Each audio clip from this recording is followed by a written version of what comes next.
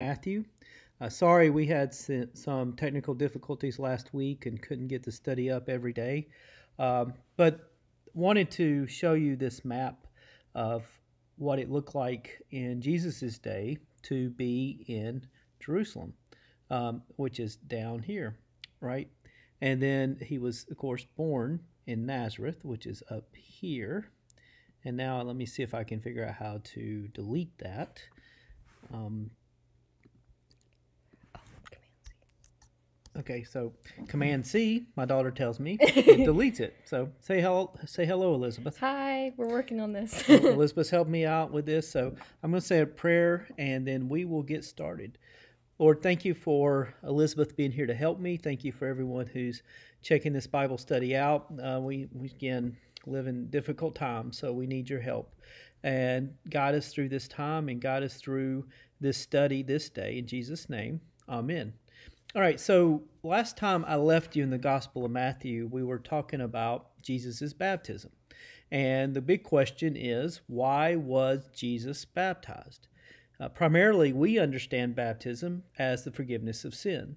So if Jesus was baptized, uh, then it he did not have sin. So his baptism has to be more than just for the forgiveness of sin. Well, it turns out our baptism is for the forgiveness of sin, but it is more than just the forgiveness of sins. Uh, baptism has other aspects to it. For one, baptism is a welcome to the community, welcome into the family. Just like when you have a child, I always tell people you don't wait until they can decide for themselves whether you bring them home from the hospital and make them part of the family. They are you make them a part of the family right when they're born. Uh, so it's a welcome to the family. It's a rite and an initiation. It's also an outward sign of what God's doing in someone's life. So let's talk about Jesus' baptism. If you remember, this is where John the Baptist was operating out of. This little idea place here called Qumran. Now, Qumran, um, Qumran was where John the Baptist was, and we're going to have to edit this and un- okay. I think it's Command Z. all right, it's all right. Command C. She Z. tells Z. Okay, she's telling me Command Z. You know, when your dad is almost fifty years old and didn't grow up with computers, for a fifteen-year-old, this is pretty frustrating. So, welcome to our life right now in quarantine. So, uh, John the Baptist was working out of this area most likely. That is the, of course, um, the Qumran community there. You can see that. There was an Essene community there. Uh, and John the Baptist was an Essene, which is a sect of Judaism. They were very ascetic. They, this is down in the wilderness, by the way. Um, the distance between here and here is not that far, right? Um, so you can, it's not that far as far as on the map or as the crow flies, but the distance is great. It's kind of like the different. I'm gonna go over here and draw now and see if I can. It's kind of like this is up here is where Jerusalem is, and down here is where the Dead Sea is. Okay, um, it's a huge drop off, huge drop off. Uh, I see. I'm I'm trying to figure this out. So uh, it's a big elevation change difference. So uh, to get there was difficult, to get there was hard. Now, if you remember, uh, we talked about in Matthew's gospel how Jesus was the embodiment of all of Israel, right? This whole area here, this is what we know of Israel. If you Remember from uh, our study, when Jesus and his family fled, they fled from Bethlehem down into Egypt.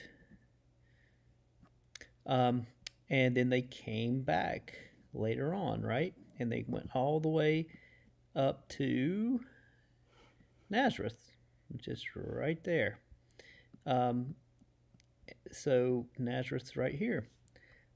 So that that what's interesting about that is if you remember the story of Israel is they travel from somewhere in this area here um, Jacob has the 12 his 12 sons, 12 tribes of Israel. They go down into Egypt, right? They go down into Egypt, then they come back uh, 400 years later with Moses into the wilderness uh, and dwell over here for some time before finally they cross into the land of of Israel, right here. And where do they cross? They cross at Jericho. And when they cross, go back and read the first couple of chapters of the book of Joshua in the Old Testament. And when they cross, it's reminiscent of crossing the Red Sea.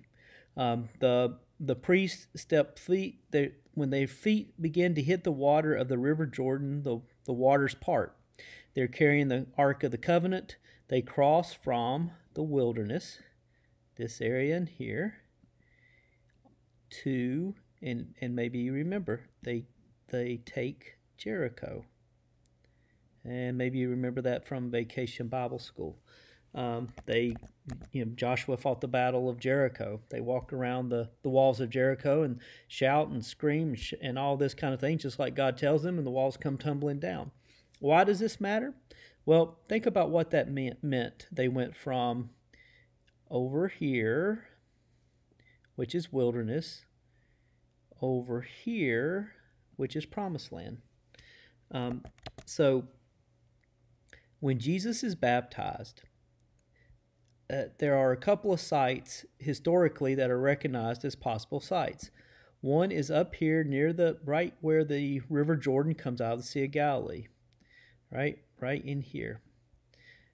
The other is down here near Jericho, right in here. So, why does that matter? Well, it, what's interesting is this one up here in the northern part was uh, was the one they used to take tourists to um, a long time ago.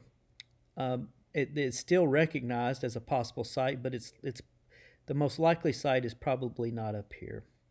Most likely site is down here at Jericho, uh, because this is where John was doing his ministry. So most likely this is exactly where Jesus went to, even though he had to travel all the way from Galilee down to down to Jericho in this area.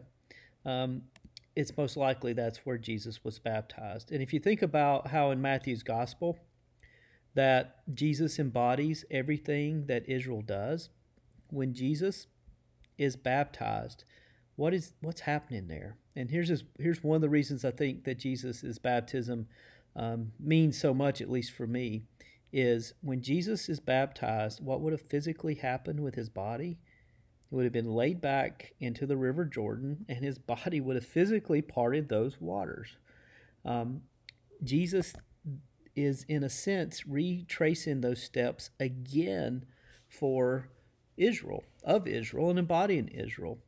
And, and so Jesus' very presence provides for us the way that goes from the land of wilderness right, over here to the land of promise over here.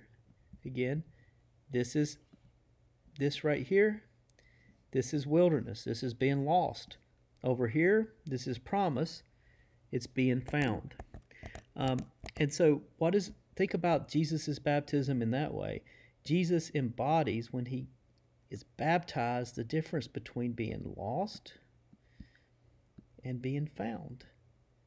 Uh, and, and in that way, um, I like to think of it that way because it, it, it, gives me a good reason why Jesus was baptized because he wasn't baptized for the forgiveness of sins. Yet his baptism for us is for the forgiveness of sins. His, bapti- his baptism for us means that we can go from over here, the place where we're lost, over here to the place we're found, from the land of being lost to the land of being found because of what Jesus does for us and only through what Jesus does for us. So Jesus is that bridge. He is that one that leads us past and through and over. Uh, without him, we can't go from one place to the other. So that's a, a little bit of what I see in Matthew's gospel. That's a little bit of what I see in Jesus' baptism. It initiates him uh, to begin his public ministry. It, and it does tell us that we are forget, we are baptized for the forgiveness of sins, and it's only through Jesus and what Jesus does that we are able to do that. So, thank you for joining me and Elizabeth for my doodles today. I know this has been a little crazy. It's a crazy time. So I hope you're having a good day. And she just gave me a look like you won't believe because, yes, I really did that. so, thank you. Uh, we're going to be back with a, a, a, video on Tuesday, but um, where we'll take up the next verses of Matthew's gospel. But until then, thank you for tuning in. Thank you for putting up with my doodles.